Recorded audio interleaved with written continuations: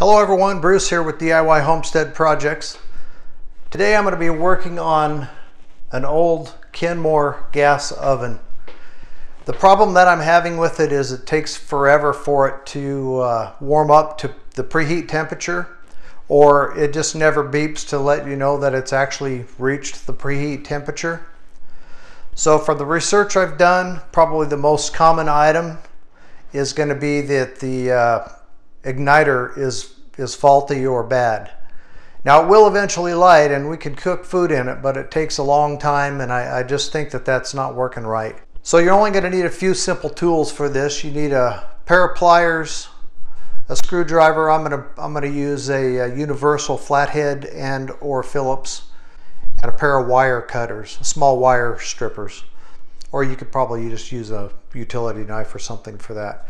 So the first thing I'm going to do is I'm going to disassemble it down to the point where I can get to the igniter and that's fairly simple. I'll show you exactly how I do that. And I'm going to run a quick test on it to see and time how long it takes for the uh, for the burner to light. My igniter glows, so at least it glows and it eventually lights, but I want to know how long that takes so that when I put the new one in, I'm going to do the same test and compare the two and see if it's improved it. All right, so let's get down there and uh, open up the oven and we'll start taking things apart.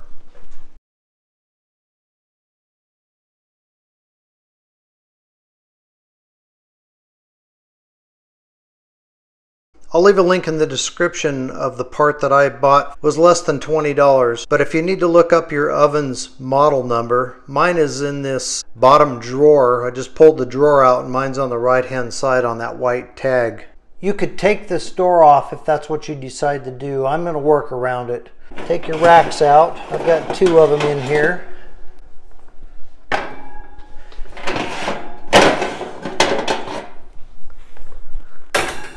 Along the back edge, mine has two thumb screws, or you can use a flathead screwdriver.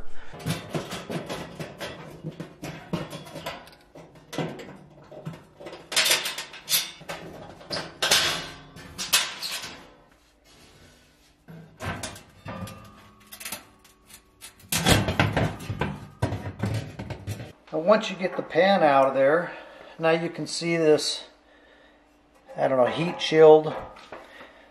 The igniter is just below the heat shield.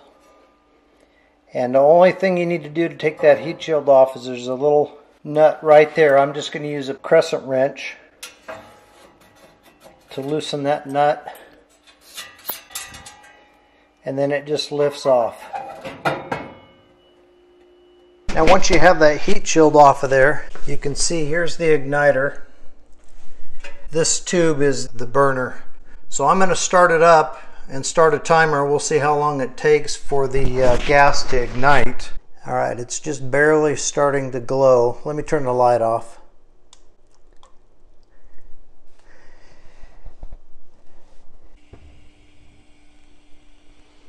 So I'm going to shut it off before it gets too hot, pull it out, unplug it, and turn the gas off so I can start taking that igniter off of there before it gets too hot.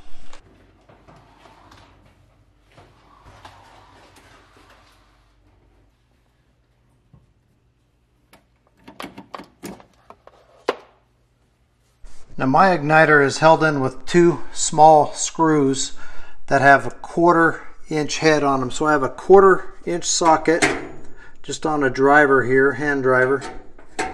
I should be able to loosen both of those and to get the igniter out of there.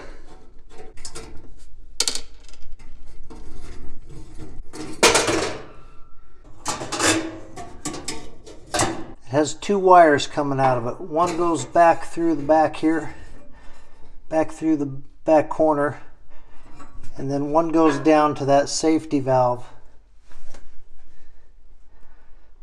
So I need to unplug that. Now to get back into the corner, you need to pull the bottom drawer out a little bit.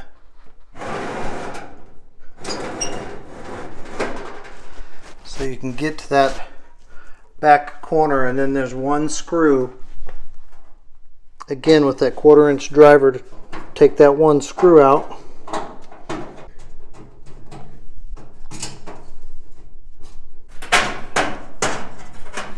And then undo the plug. Just pinch the tab and pull the plug off. And I need to unplug this other one from the uh, control valve and we'll have it out. Okay, so now we're going to get the uh, igniter set up.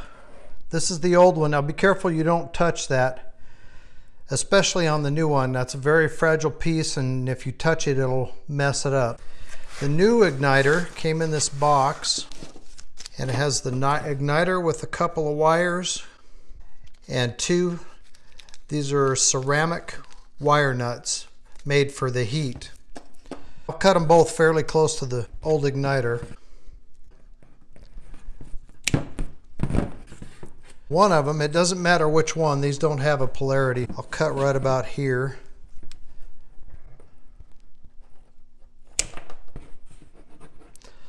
Strip that back about half inch.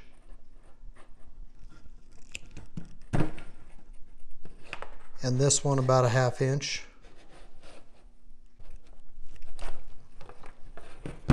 Take one of my ceramic wire nuts.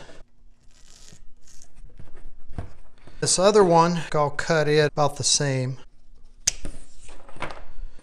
Strip it back.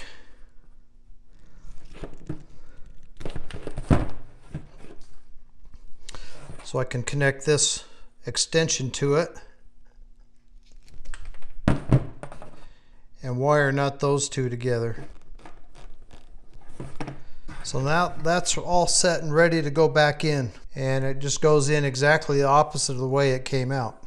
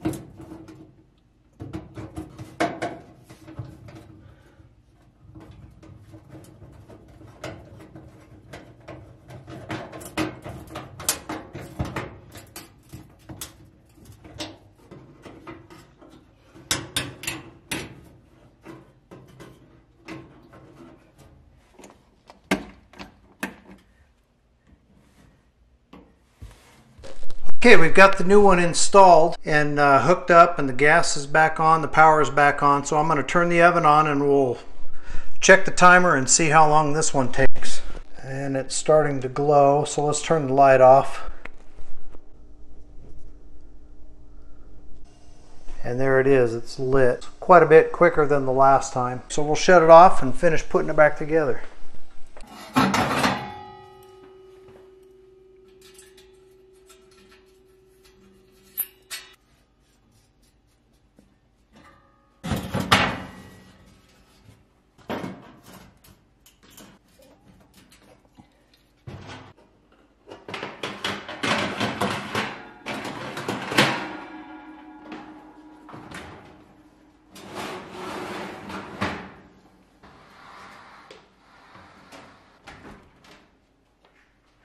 All right guys, so I've got my oven working again. Everything seems to be operating properly. And it was a cheap fix, less than $20. It took me a while because I was filming, but probably a 30 minute job at the most, even just for a, you know, somebody who hasn't done a lot of work like that. Real simple tools. I left a list of the tools. I'll leave a link in the description of the uh, part that I bought. And that's an Amazon affiliate link. So if you choose to uh, purchase off of those links. I could potentially make a little bit of profit off of that, and I do appreciate it. Thanks for watching. If you uh, liked the video or you got some value out of it, don't forget to give me a thumbs up. And if you haven't ever been to the channel before, consider subscribing. Love to have you on board. And uh, we'll see you guys all on the next video.